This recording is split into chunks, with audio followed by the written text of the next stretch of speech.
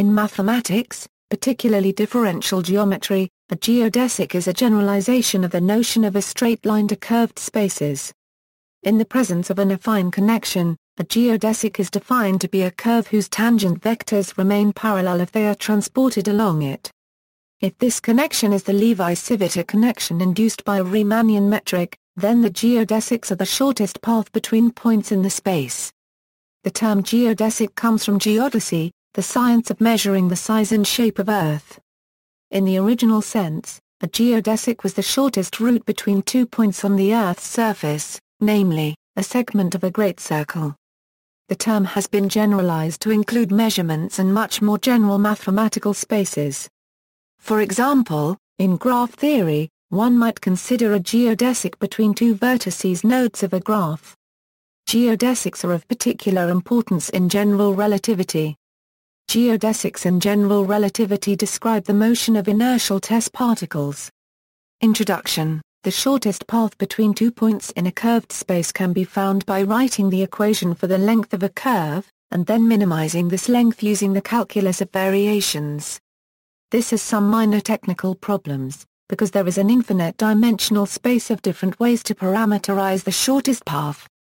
It is simpler to demand not only that the curve locally minimize length but also that it is parameterized with constant velocity, meaning that the distance from f, s, to f, t, along the geodesic is proportional to xr t. Equivalently, a different quantity may be defined, termed the energy of the curve. Minimizing the energy leads to the same equations for a geodesic. Intuitively, one can understand this second formulation by noting that an elastic band stretched between two points will contract its length, and in so doing will minimize its energy. The resulting shape of the band is a geodesic. In Riemannian geometry geodesics are not the same as shortest curves between two points, though the two concepts are closely related. The difference is that geodesics are only locally the shortest distance between points, and are parameterized with constant velocity. Going the long way round on a great circle between two points on a sphere is a geodesic but not the shortest path between the points. The mapped RAAT2 from the unit interval to itself gives the shortest path between 0 and 1, but is not a geodesic because the velocity of the corresponding motion of a point is not constant. Geodesics are commonly seen in the study of Riemannian geometry and more generally metric geometry. In general relativity, geodesics describe the motion of point particles under the influence of gravity alone. In particular, the path taken by a falling rock, an orbiting satellite, or the shape of a planetary orbit are all geodesics in curved spacetime. More generally, the topic of sub-Riemannian geometry deals with the paths that objects may take when they are not free, and their movement is constrained in various ways. This article presents the mathematical formalism involved in defining, finding, and proving the existence of geodesics, in the case of Riemannian and pseudo-Riemannian manifolds. The article Geodesic discusses the special case of general relativity in greater detail. Examples the most familiar examples are the straight lines in Euclidean geometry. On a sphere, the images of geodesics are the great circles. The shortest path from point A to point B on a sphere is given by the shorter arc of the great circle passing through A and B. If A and B are antipodal points, then there are infinitely many shortest paths between them. Geodesics on an ellipsoid behave in a more complicated way than on a sphere. In particular, they are not closed in general. Metric geometry In metric geometry, a geodesic is a curve which is everywhere locally a distance minimizer. More precisely, a curve i cubed or e a m from an interval i of the reals to the metric space m is a geodesic if there is a constant var per mil beta 0 such that for any tar a i there is a neighborhood j of t in i such that for any t1, a euro t2 a j we have this generalizes the notion of geodesic for Riemannian manifolds. However, in metric geometry the geodesic considered is often equipped with natural parameterization, that is in the above identity y equals a1 and if the last equality is satisfied for all t1, t2 and i, the geodesic is called a minimizing geodesic or shortest path. In general, a metric space may have no geodesics, except constant curves. At the other extreme, any two points in a length metric space are joined by a minimizing sequence of rectifiable paths, although this minimizing sequence need not converge to a geodesic. Riemannian geometry In a Riemannian manifold M with metric tensor G, the length of a continuously differentiable curve I cubed A, A, B, AAM is defined by the distance d, p, a euro q, between two points p and q of m is defined as the infimum of the length taken over all continuous, piecewise continuously differentiable curves I cubed A, A, B, AAM such that I cubed, A, A equals AP and I cubed, B, A equals AQ. With this definition of distance, geodesics in a Riemannian manifold are then the locally distance minimizing paths. The minimizing curves of L in a small enough open set of M can be obtained by techniques of calculus of variations. Typically, one introduces the following action or energy functional. It is then enough to minimize the functional E, owing to the Cauchy-Euro-Schwarz inequality. With equality if and only if d cubed slash dt is constant. The Euler-Euro-Lagrange equations of motion for the functional E are then given in local coordinates by where are the Christoffel symbols of the metric? This is the geodesic equation, discussed below. Calculus of variations Techniques of the classical calculus of variations can be applied to examine the energy functional E. The first variation of energy is defined in local coordinates by the critical points of the first variation are precisely the geodesics. The second variation is defined by in an appropriate sense, Zeros of the second variation along a geodesic I-cubed arise along Jacobi fields. Jacobi fields are thus regarded as variations through geodesics.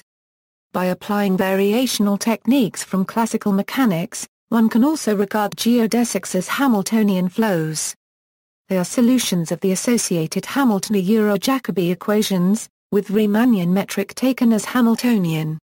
Affine geodesics, a geodesic on a smooth manifold M with an affine connection A is defined as a curve I cubed, T, such that parallel transport along the curve preserves the tangent vector to the curve, so at each point along the curve, where is the derivative with respect to? More precisely, in order to define the covariant derivative of it is necessary first to extend to a continuously differentiable vector field in an open set. However, the resulting value of is independent of the choice of extension. Using local coordinates on M, we can write the geodesic equation as where are the coordinates of the curve I cubed, t, and are the Christoffel symbols of the connection A. This is just an ordinary differential equation for the coordinates. It is a unique solution, given an initial position and an initial velocity. Therefore, from the point of view of classical mechanics, Geodesics can be thought of as trajectories of free particles in a manifold. Indeed, the equation means that the acceleration of the curve has no components in the direction of the surface. So, the motion is completely determined by the bending of the surface. This is also the idea of general relativity where particles move on geodesics and the bending is caused by the gravity.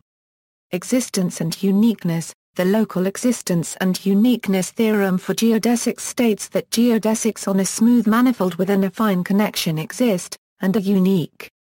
More precisely, for any point P in M and for any vector V in TPM there exists a unique geodesic OILM such that, and where I is a maximal open interval in a containing zero. In general, I may not be all of as for example for an open disk in a 2. The proof of this theorem follows from the theory of ordinary differential equations, by noticing that the geodesic equation is a second-order ODE. Existence and uniqueness then follow from the Picardo-Euro-Lindell paragraph F theorem for the solutions of ODEs with prescribed initial conditions. I cube depends smoothly on both P and V, geodesic flow, Geodesic flow is a local R action on tangent bundle Tm of a manifold M defined in the following way where tar AOR, via TM and denotes the geodesic with initial data. Thus, GT, V, A equals A EXP, TV, is the exponential map of the vector TV. A closed orbit of the geodesic flow corresponds to a closed geodesic on M. on a Riemannian manifold, the geodesic flow is identified with a Hamiltonian flow on the cotangent bundle. The Hamiltonian is then given by the inverse of the Riemannian metric, evaluated against the canonical one form. In particular the flow preserves the Riemannian metric, that is. In particular, when v is a unit vector, remains unit speed throughout, so the geodesic flow is tangent to the unit tangent bundle. Liouville's theorem implies invariance of a kinematic measure on the unit tangent bundle. Geodesic spray The geodesic flow defines a family of curves in the tangent bundle. The derivatives of these curves define a vector field on the total space of the tangent bundle, known as the geodesic spray. More precisely, an affine connection gives rise to a splitting of the double tangent bundle TTM into horizontal and vertical bundles. The geodesic spray is the unique horizontal vector field W satisfying at each point phi A TM. Here I euro A, A TTM A A TM denotes the push forward along the projection I euro A at A M associated to the tangent bundle. More generally, the same construction allows one to construct a vector field for any Ehresmann connection on the tangent bundle. For the resulting vector field to be a spray it is enough that the connection be equivariant under positive rescalings, it need not be linear. That is, it is enough that the horizontal distribution satisfy. For every ZA at MAR backslash a 0 and IAA 0. Here D, C is the push forward along the scalar homothety A particular case of a nonlinear connection arising in this manner is that associated to a Finsler manifold affine and projective geodesics, equation is invariant under affine reparameterizations. That is, parameterizations of the form where a and b are constant real numbers. Thus apart from specifying a certain class of embedded curves, the geodesic equation also determines a preferred class of parameterizations on each of the curves. Accordingly, solutions of are called geodesics with affine parameter. An affine connection is determined by its family of affinely parameterized geodesics, up to torsion.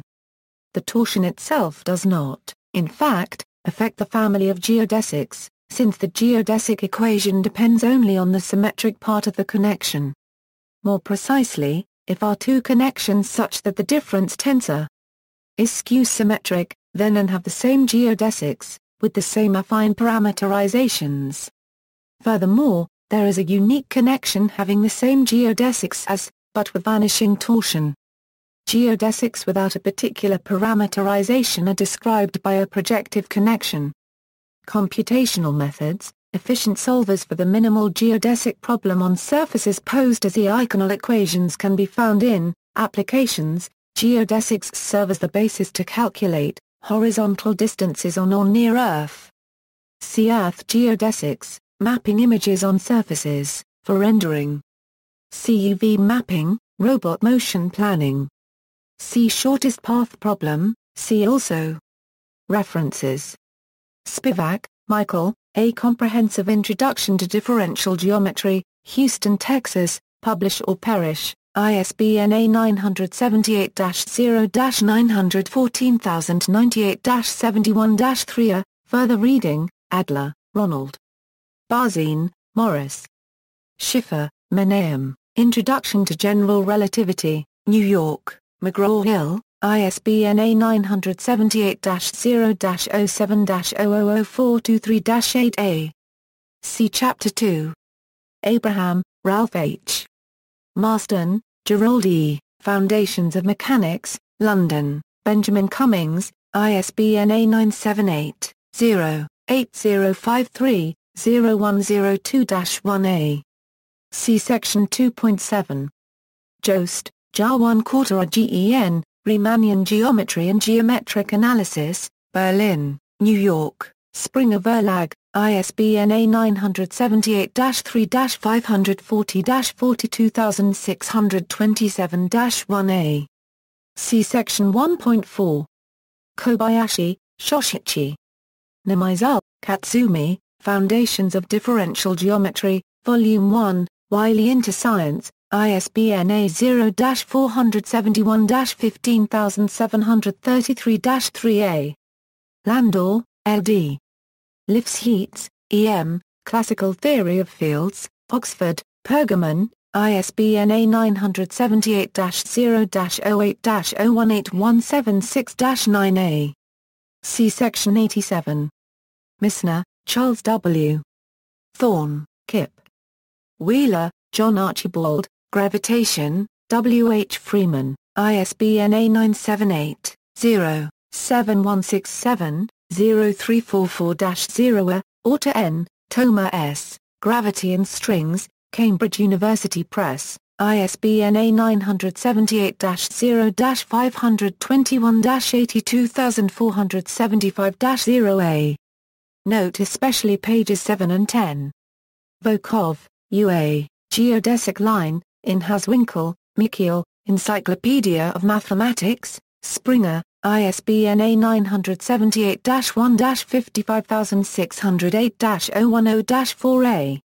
Weinberg, Stephen, Gravitation and Cosmology, Principles and Applications of the General Theory of Relativity, New York, John Wiley & Sons, ISBN A978-0-471-92567-5A. See Chapter 3. External links, Caltech tutorial on relativity a Euro A nice, simple explanation of geodesics with accompanying animation. Geodesics Revisited a Euro Introduction to Geodesics including two ways of derivation of the equation of geodesic with applications in geometry, mechanics and optics. Geodesics on a parametric surface, Sage Interact Euro Interactive Sage Math worksheet to calculate and illustrate geodesics on parametric surfaces. Totally geodesic submanifold at the Manifold Atlas.